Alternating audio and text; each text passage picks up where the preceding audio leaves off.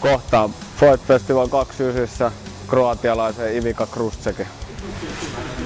Ainakin näkemä perusteella, niin se yrittää viedä kaverin tonttiin ja lyödä siellä vastustajan keskeytykseen. Nyt taitaa käydä toisinpäin. Annetaan tällä kertaa kroatialaisen maistaa omaa lääkettä ja hoidetaan homma kotiin.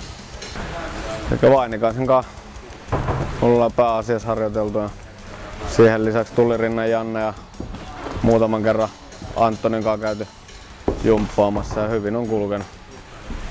Paikat on ollut kunnossa, päässyt hyvin jumppaamaan. Kyllä kroatialainen tulee täällä saamaan kovaa kyytiä.